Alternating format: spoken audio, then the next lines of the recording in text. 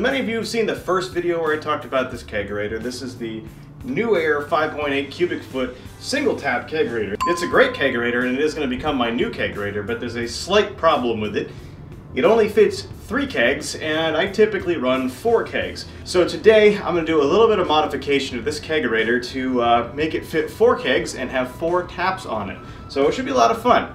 So the first thing I did was just unplug the kegerator and take all the kegs out, disconnect everything, uh, and make sure there's nothing left in the draft tower. The first thing I have to do here is take the door off, um, but in order to take the door off, we have to take the top off of the kegerator first. And in order to take the top off, I have to take the draft tower off.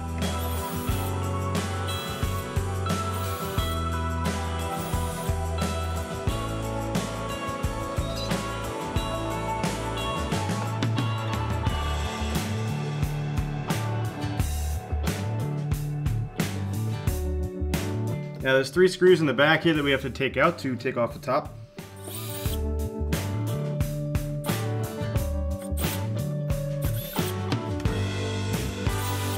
So I should be able to now just pop this off. Now it is attached by wires, so I'm just gonna keep that off. Just gonna push this back a little bit and keep it out of the way. So now we gotta take these screws out from the bottom of the door hinge.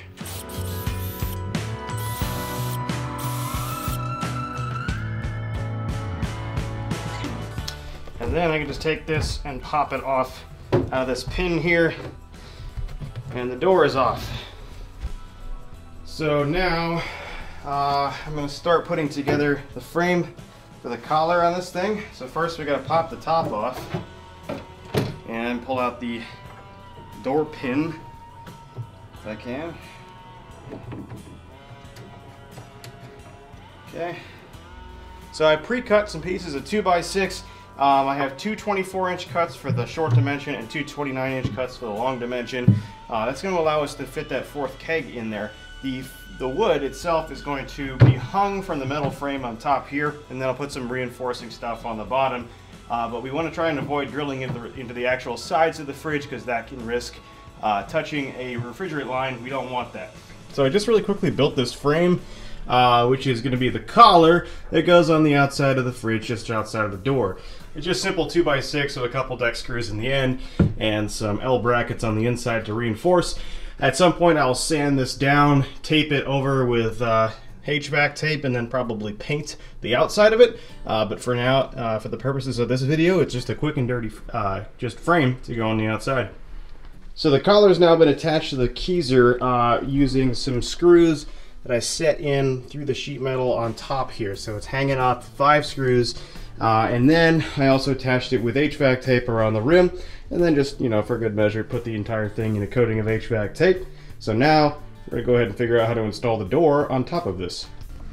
So at this point, uh, I've got the door reattached. It wasn't going to fit via its original hinging system, so I actually just went ahead added some door hinges I got from Home Depot and a uh, cabinet latch here so that it actually will stay shut and uh, maintains a good seal still. So I kind of put the draft tower in already. I haven't tightened down the screws yet.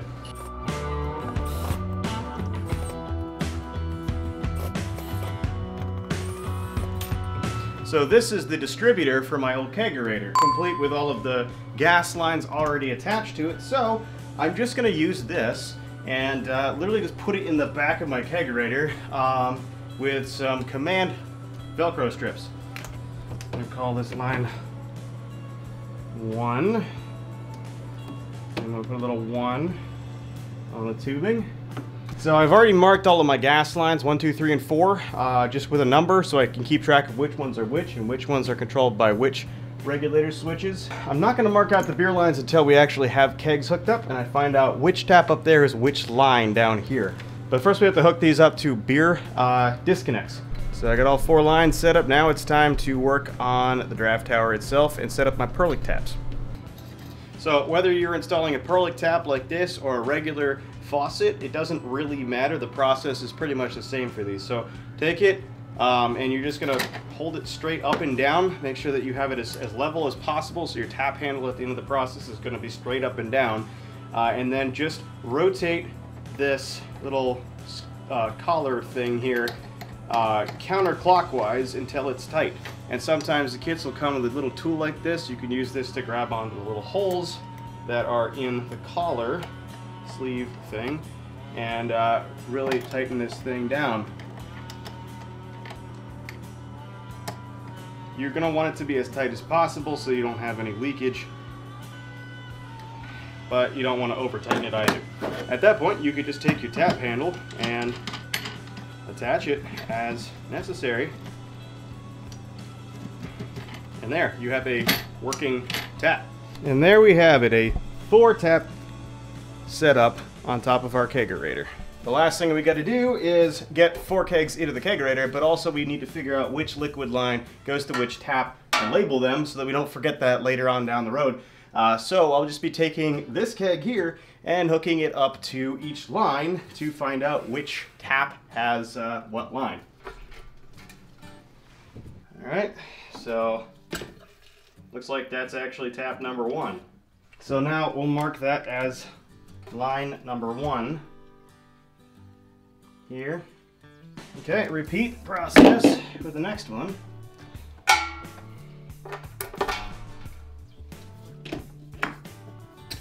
That's line number three.